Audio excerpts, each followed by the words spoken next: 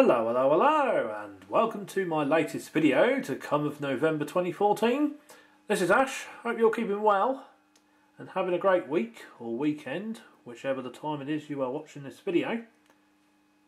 Tonight I'm going to be reviewing yet another member of my ever-growing Class 60 fleet.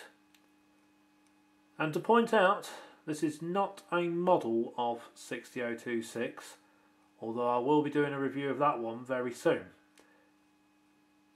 As I don't think I've covered that model since I bought it in 2006, but anyways, this one is a code 3 renumber and it has had some extensive detail input onto it and the locomotive I'm talking about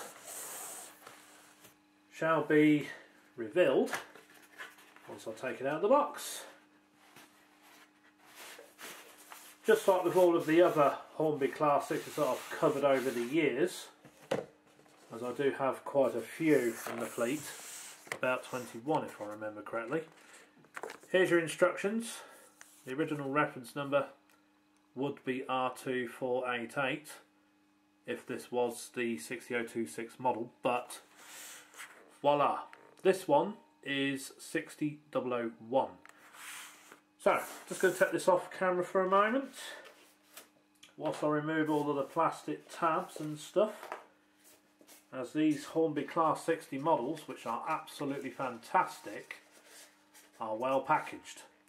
Also, the divisable polystyrene makes it much easier to handle the model without breaking any delicate parts. Because if you own one of these locomotives yourselves, you'll probably be fully aware that the plastic horns, which are these on the top, are a little bit on the flimsy side. And if you put too much pressure on them, they will break off. So, just bear me for a minute. I'm going to put all this back together and then I will show you some of the rather interesting pointers that this model boasts as it has been detailed inside and out. It's not yet sound fitted that's something I'm going to work on in the future. I am fully aware that this locomotive is now in the DB Schenker red livery.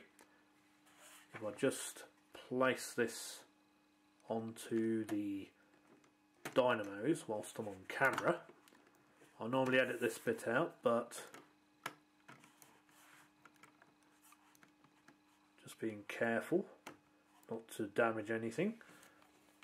Here is your NEM coupler. This will go on the rear part of the train which is facing away from the camera. Likewise, I'm just going to reposition the track just to show you the gorgeous eye candy that this now code 3 model features. As if I just zoom in, you'll notice straight away that I have had some sun visors fitted inside the both cabs at both ends. There is a Preiser driver fitted inside as this was done by Peak Dale Works that I had this locomotive done in 2013. It is in pristine condition as this is one of my other favourite Class 60s alongside 60008 in this livery that I also have. Also, I have painted the buffers into the Humbrol flat black just to remove the shiny metal. But apart from that, the air dam, the brake pipes and the cosmetic chain link coupler was all fitted by my friend Jon. So I'm just going to take a moment to pause the video whilst I link up the controller as I do disconnect the controller from the dynamos when not in use and I will be back in a moment. Stay tuned. Right, as you can see, I have rigged up the controller to the dynamo track which is my Gaugemaster Model D. As you can see, I've applied a little amount of voltage to the track to show off the rather bright LED headlights and this locomotive does come with directional lighting as well as day and night lighting mode via a switch underneath the fuel tank. Although I have covered these in previous reviews so I'm not going to repeat myself with this one as I don't want to sound too repetitive in my reviews but let's crank up the power and let's see how this locomotive performs shall we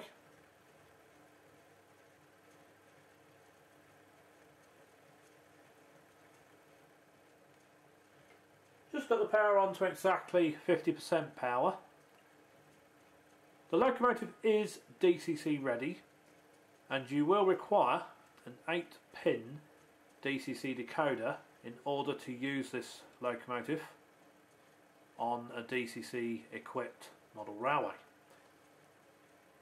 I have previously mentioned that the locomotive does have NEM couplers which can be interchanged to a different type of coupler of your choice without the need of glue or screws etc. Also you'll notice that the performance of this Class 60 is relatively quiet and I can say these locomotives are very strong pullers. You could quite easily pull a reasonable sized length train if you have the space on your model railway to haul about 20 to 25 tankers behind one of these and it would quite easily haul those Bachmann TEA tankers without too much of an issue unless you have steep gradients but the pulling power on these locomotives is amongst the best I have seen. Just like the real Class 60 really. Anyways, now that I've shown you the front lights for a bit, I'm just going to show off the tail lights whilst on the dynamo. And as you can see, nicely illuminated some critics might say they are a little bit on the bright side, but if you like running your model trains at night, or in nighttime mode, like I do, I think tunnels and nighttime running, the headlights do look quite nice. But they're okay for me anyways.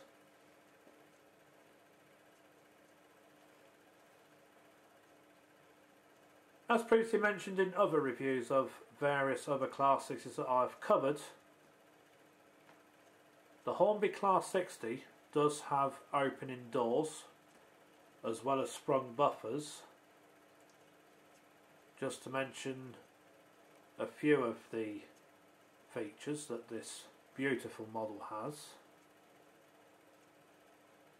And the reason I've chosen the EWS livery for 60001 is for nostalgia reasons. As I've, I've actually seen the real locomotive in person back in 2006 which was around January February time so that was about eight years ago although the locomotive is now back on the main line in the DB Schenker red livery. And I may go for one of those in the future but for now I'm happy with this. And just to point out the name of this locomotive when it was in EWS livery was named as the Railway Observer as picked out by the Shawplan etched metal nameplates of which were fitted to this model by Peak Dale Works.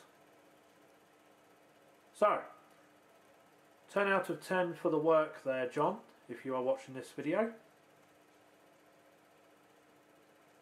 And without further ado, I'm going to stop this video for the time being whilst I set up the test train which will be an intermodal train so there's a mini spoiler there. And we will see how powerful this beauty really is.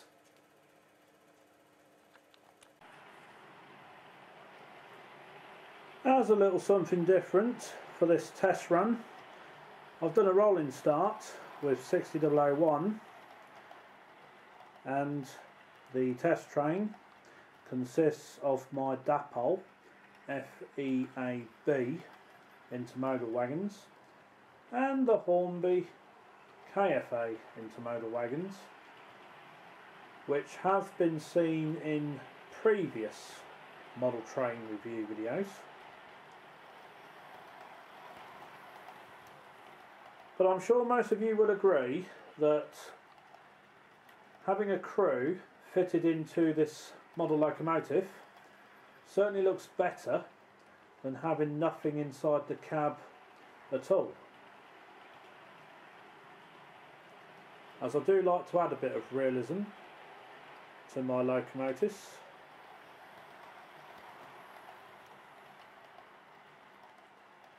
But just look at how silky smooth that performance is. And I've only got it on about 35% power. As for all previous reviews that I've covered since around late 2010, the controller is the famous Gaugemaster Model D as it does have quite a lot of power to handle the more current hungry model locomotives.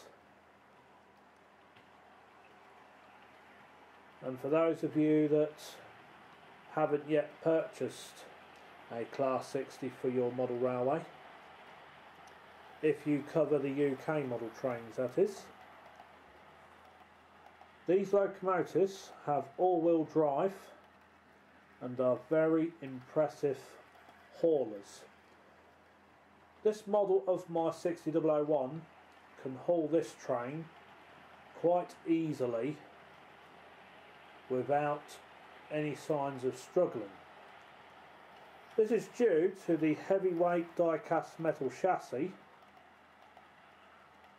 and a 5-pole central can motor.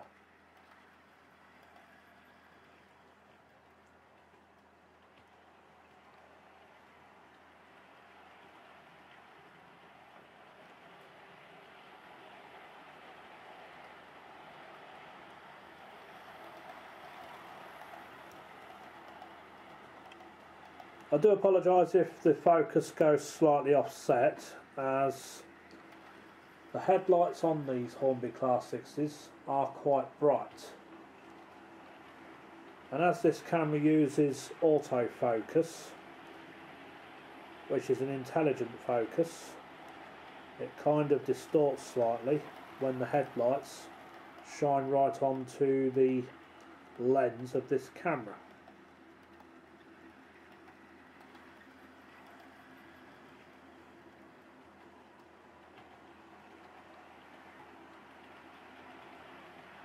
Now then, normally I would use my rake of 10 Bachmann TEA 100 ton tankers, which are those BP crude oil tankers that I've used in previous videos. But I've chosen this intermodal train just to add something different to my rather large fleet of Class 60s as I like to do an individual review on each one just to show off the customisations and also as something different.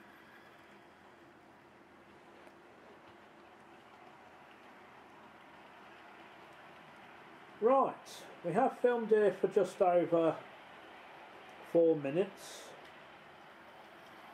and as you can see the performance is absolutely smooth there isn't any signs of any struggling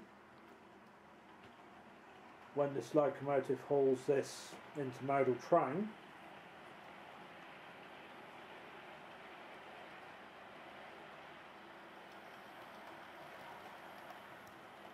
And as we've been here for nearly five minutes, I'm just going to allow a couple more passes and then I'm going to round off this review of my Hornby Class 60 of which is a code 3 model of 60001 in EWS livery.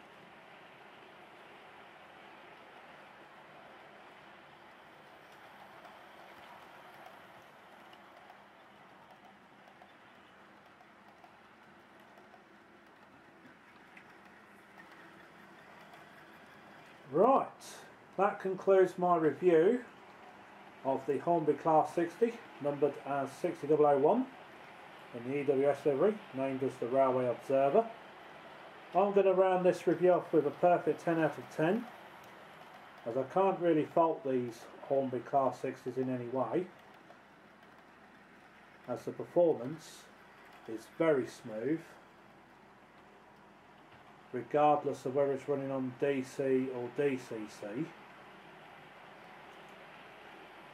And I'd highly recommend getting one of these for anyone that models British modern image railways that does not yet have a Hornby Class 60. Prices can range from anything from 70 UK right up to around 160 UK. But likewise, thank you for watching. If you have any comments or questions, please feel free to post them in the comment section below and have a good week. Stay tuned for another video to come soon and bye for now.